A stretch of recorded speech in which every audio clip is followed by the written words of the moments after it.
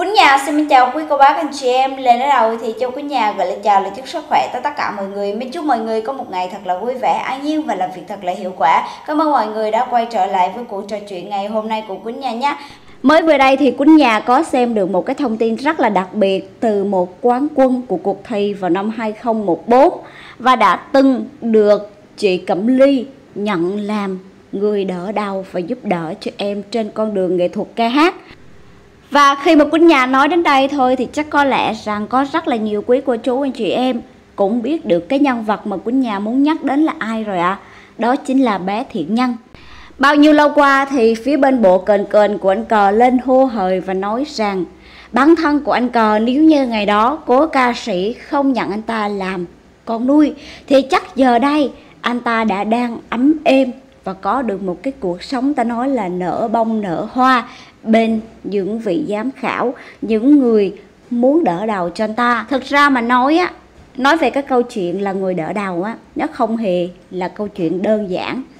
Và nếu như cái người học trò, cái người mà mình lên tiếng để giúp đỡ, mà người ta có những cái việc trắc trở gì đó, thì chắc chắn rằng là cái người đỡ đầu cũng sẽ chịu biết bao nhiêu là cái búa rìu của dư luận và cái sự dèm pha của thị phi. Sở dĩ ngày hôm nay, Quýnh nhà nhắc về cái vấn đề này không phải ai đoạt giải quán quân và bước ra từ những cuộc thi là có thể một bước mà tiến vào giới showbiz dễ dàng đâu. Cho dù có được những cái sự hậu thuẫn, có được những người đỡ đầu giúp đỡ đi chăng nữa, nhưng chưa chắc những người đó sẽ thành danh và điển hình như là thiện nhân, em ấy đã từng đoạt giải quán quân vào năm 2014 và em ấy có được một cái sự hậu thuẫn rất là vững chắc. Nhưng tại vì sao em ấy lại không phát triển con đường nghệ thuật ca hát? Mà bây giờ, qua cái sự việc rối ren của em trên mạng xã hội, thì chúng ta mới có thể nhận định được rằng là đâu phải ai có được sự hậu thuẫn, đoạt được cái giải quán quân, rồi có thể là một bước lên mây một bước lên trời. Cho nên nói đến đây thôi á thì ai cũng đều thấy những cái điều lớn lao mà cố ca sĩ đã từng giúp đỡ cho anh cờ. Và nếu như ngày đó cố ca sĩ bỏ bãi anh ta Chỉ nghĩ đơn giản rằng là đây là một cái câu chuyện. Mình là người đỡ đầu cho anh ta. Nếu như anh ta không cố gắng Anh ta không có thực lực Thì cứ để, cứ mặc sát Nó đi đến đâu thì nó đến. Còn cố ca sĩ, Thầy chỉ cần là Lo cho anh ta ăn cơm ngày ba bữa, Cho anh ta học ở những cái trường bình thường. Giống như cố ca sĩ nuôi 22 người con còn lại của cô ấy. Và bố mẹ ruột của anh ta có thể là ra riêng muốn làm gì đó là làm, không có liên quan gì tới đại gia đình của cố ca sĩ cả. Và cố ca sĩ cũng chả cần phải đi đến đầu này đi đến đầu kia để năn nỉ bầu show này bầu show nọ để kịp cho anh ta hát trong những cái show diễn của họ làm gì. Bởi vì sao? Anh ta không có một cái tố chất của một người nghệ sĩ. Các ông bồ show người ta chê lên, chê xuống. Thì mắc mớ gì cố ca sĩ phải cực khổ, phải lao tâm, tốn sức để có thể là chạy vạy đầu này, chạy vạy đầu kia cho anh ta?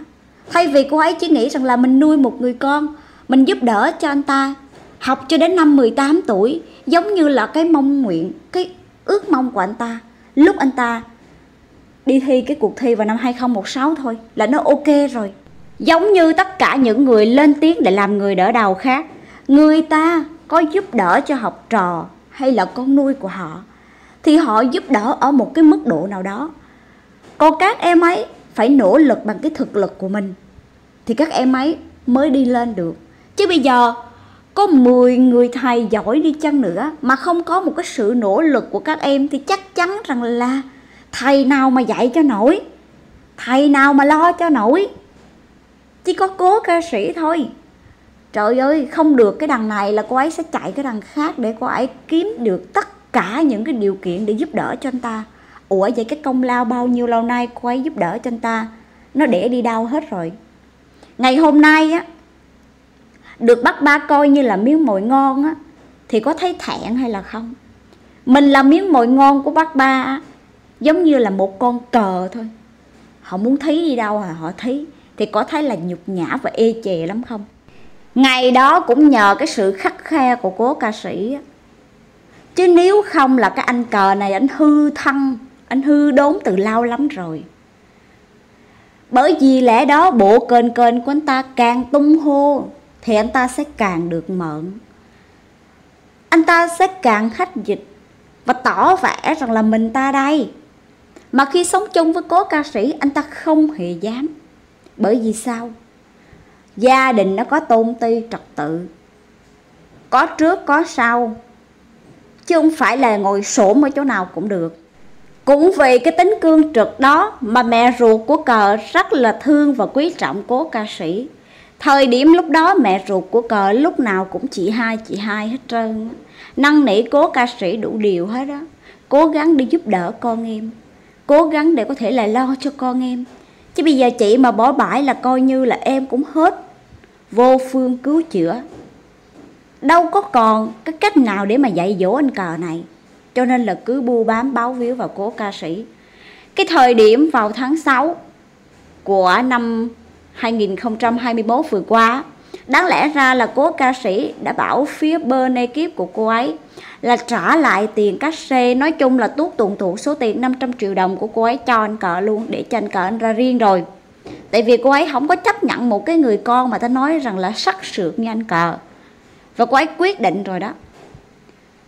Và sau khi trả tiền cho anh ta thì cô ấy sẽ bay về bên Mỹ để đoàn tụ cùng với lại con gái của mình và tham gia trong một cái show diễn của Trung tâm Thúy Nga.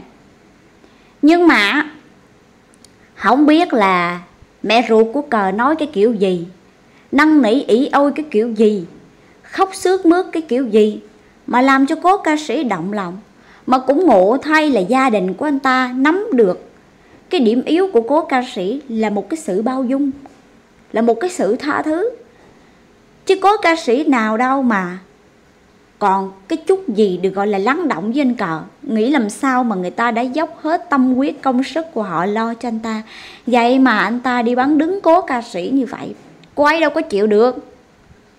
Nếu làm rõ cái sự việc này là đã làm rõ từ tháng 6 của năm 2021 rồi. Mà cũng ngộ thay, cũng ngược đời thay. Không biết giờ mẹ ruột của cờ còn nhớ ông ta? Mà cái dòng mà ta nói rằng nhớ mà không lên tiếng đó nghe thì cuộc đời này coi như là hết rồi đó. Bởi vì sao? Dày vò mãi. Lúc nào cũng suy nghĩ đến cố ca sĩ và những điều mà con ruột của mình đã gây ra với cô ấy. Lúc nào cũng nhớ được những cái lời ân cần của cố ca sĩ đã từng giúp đỡ cho gia đình của họ. Chứng thực, chứng kiến được rất là nhiều cái thế hệ trước. Người ta đoạt giải quán quân trước con của mình. Người ta làm gì có tương lai giống như con của mình? Con của mình được giống như ngày hôm nay là ở đâu, ra đâu và do đâu vậy? Chẳng lẽ đâu trên trời rơi xuống? Hay tại thời điểm lúc đó mà anh cờ anh lọt vào tay của bác ba chắc giờ này? Anh ta đã là một người học hết đến năm 12 vào đại học khó lắm khó lắm, bố mẹ ruột của cờ ơi. Bởi vì lẽ đó bây giờ im thinh thích chứ đâu có dám nói. Bây giờ còn cái mặt mũi non nước nào để mà nói với phía bên gia đình của cố ca sĩ? Những cái con người mà ta nói rằng là tệ bạc đến như vậy thì bây giờ nói ở đâu? Giấu mặt đi đâu? Bây giờ có chỉ chui xuống lỗ thôi. Thật sự luôn là cố ca sĩ ra đi, đó là một cái điều được gọi là tiếc nói với tất cả mọi người bởi vì cô ấy ra đi. Cho nên rằng là phía bên gia đình của cô ấy, người ta cũng không còn một cái động lực nào. Thay vì người ta lên người ta phân bua hay là người ta giải thích, hay là người ta nói hết ra, chắc gì ai đã tin, thì thay vì là nói những cái câu chuyện, thay vì những cái lời đàm tiếu, thì họ cứ làm đúng theo cái quy định của pháp luật thôi người ta đi chậm mà người ta đi chắc. Người ta cứ gửi đơn, rồi tự động đến một ngày nào đó, các bác cũng sẽ hẹn gặp anh cờ cùng với lại chị ngọc lê lê, mà cũng ngộ. Bộ kền kền của anh cờ không hiểu gì sao. Chứ hỏi lại anh cờ xem, ngày xưa cố ca sĩ còn sống á. Có một lần là đã nộp đơn để thưa rồi đó thưa những cái người mà vu vạ đặt điều đó. Rồi sau đó, nghe anh ta lên đính chính và xin lỗi. Cái đợt mà anh ta lên trên truyền thông, có ba, có mẹ anh ta để xin lỗi cố ca sĩ cô ấy đã rút đơn lại. Mà mỗi lần mà rút đơn lại như vậy là tình nghĩa mẹ con gì nữa đâu quảng cả những cái công sức suốt 6 năm vừa qua cô ấy giúp cho anh ta. Nó thành công cốc, nó thành vô nghĩa, nhưng cô ấy vẫn bao dung và che chở cho ta. Vậy mà đến khi cô ấy ra đi, mãi mãi họ vẫn vu vạ và đặt điều cho cô ấy. Thì tiếp tục thêm một lần nữa. Đơn từ nó cũng đã được đưa đi. Và đợt đưa đi này sẽ không bao giờ được rút lại. Và trong tháng 8 sắp tới đây, mong chờ rằng là cái kết nó sẽ đến với anh cờ và chị ngọc La La để cho mẹ ruột của anh cờ hiểu được rằng là đời này mình mang ơn người ta cả cuộc đời, mình đáp trả còn không hết. Thì mình đừng có nên thiêu dệt và bị chuyện đã không biết dạy dỗ con mình trở thành người tốt. Thì cũng là một người mẹ sinh thành ra anh ta nhưng lại không biết cách đối nhân xử thế thì chắc chắn rằng là tương lai và sự nghiệp của anh ta sẽ không còn gì cả Ok, cái đoạn video này của Quýnh Nhà thì xin kết thúc tại đây. Mến chúc mọi người luôn dồi dào sức khỏe, bình an và vạn sự như ý. Và nếu thích cái đoạn video này của Quýnh Nhà thì các bạn có thể like, share, subscribe để ủng hộ cho cái kênh của Quýnh Nhà nhé.